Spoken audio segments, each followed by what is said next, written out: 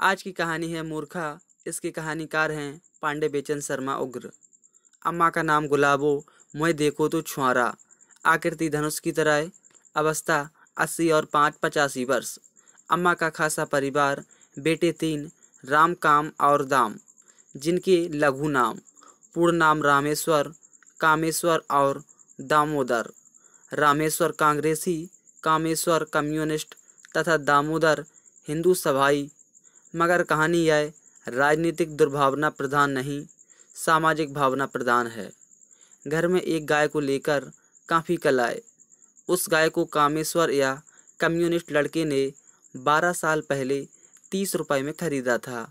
दस साल उसने बराबर सारे परिवार को तीन शेर रोज़ाना से लेकर आठ शेर रोज़ाना तक दूध पिलाया। उसके छः बछड़े, छोटी उम्र में ही कुल मिलाकर ढाई सौ रुपये में बेच दिए गए और चार बछियाँ डेढ़ सौ में। पर अब उस गाय में कोई तत्व नहीं। ठटरी मात्र रह गई है। बुढ़ापे से काली, कीचमई आँखें, किसी को भी अब उससे कोई उम्मीद नहीं। सबको अब वह दौर की कुशोबा और गंदगी फैलाने वाली मालूम पड़ती है। केवल गुलाबो अम्मा उस गाय की पक्षपातनी और प्रचंड रक्षक बिना उनके प्राण निकले, क्या मजाल जो कोई गोमाता को घर के बाहर निकाल सके।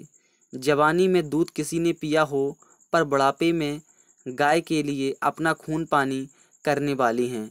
तो गुलाबो अम्मा गुलाबो अम्मा अस्सी, पाँच, पचासी वर्ष की वय में जैसी बूढ़ी, वैसी ही वह गाय, पंद्रह वर्ष की अवस्था में। इसे बेच दें अम्मा कम्युनिस्ट ने पूछा, इसे खरीदेगा कौन? यह ना तो अब फलेगी, ना दूध देगी। अम्मा ने बेचने की याचना को अनुत्साहित किया, पर कम्युनिस्ट अर्थ पिचास युग का प्राणी, कसाई इसे हँसी खुशी से पच्चीस तीस रुपए में ले लेगा अम्मा, और अपनी कोख से जन्मे पूत के मुँह से ऐसी पातक बात सुनने के बाद अम्मा ने तीन दिन, तीन रात अन्न जल ग्रहण नहीं किया।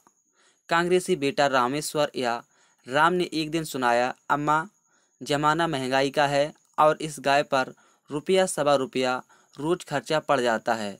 इसे पिंजरा पुल पठा दे तो कोई आपत्ति है तुम्हें? वहाँ यहाँ से अधिक सुखी रहेगी। जमाना महँगाई का है तो मुझे भी किसी पिंजरा पुल में भर्ती करा दें।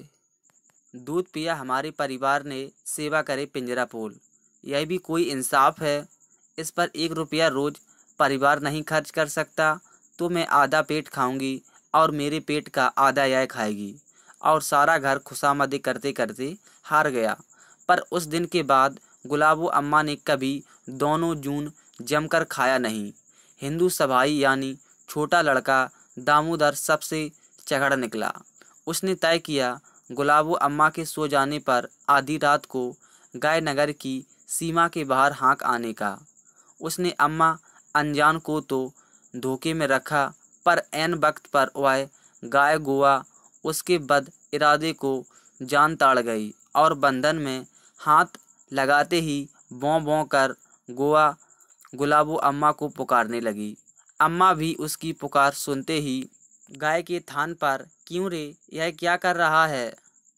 अम्मा खींच भरे स्वर में हिंदू सभाई लड़की ने कहा, इसके मारे सारे घर में गंदगी, जिधर देखो गोबर ही गोबर, सीधे से तुम इसे कभी ना निकालोगी। सो मैंने सोचा, रातों रात शहर हाँक आऊँ। किसके भाग्य की सारे घर में गोबर ही गोबर नज़र आए। अभागे गोबर में लक्ष्मी का निवास है। मैं आज अंतिम बार कहे देती हूँ, गाय घर से बाहर निकली और दाना पानी छोड़ मैंने प्राण देने का निश्चय किया।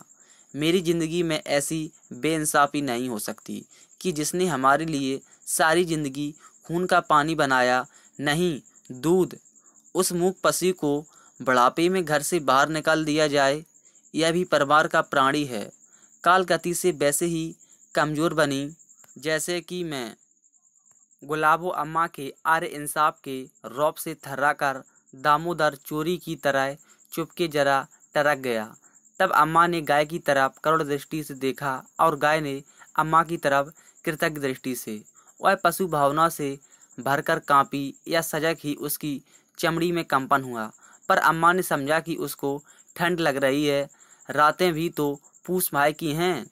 अरे इसका मुझे ध्यान ही ना रहा। मैं भी कैसी मूर्खा।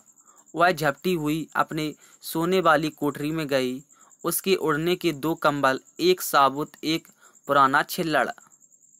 पहले अम्मा ने छिल्लड़ कंबल उठाया, फिर कुछ सोचकर रुकी, जिसने अपने बच्चों का पेट काटकर मेरे बच्चों को दूध पिलाया, उसे छिल्लड़ नहीं अच्छा कंबल ही ओढ़ना सनातन धर्म है। कम से कम जब तक मैं ज़िंदा हूँ, मेरे बाद चाहे जो भी हो, गाय को उत्तम कंबल ओढ़ा।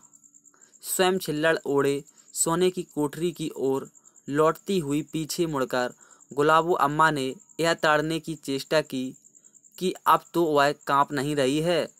गाय ने भी विचित्र और मूक अपनत्व से अम्मा की तरफ़ देखा। अम्मा की आँखों में करड़ा थी, गंगा की तरह। गऊ की आँखों में कृतज्ञता थी, मुक्ति की तरह।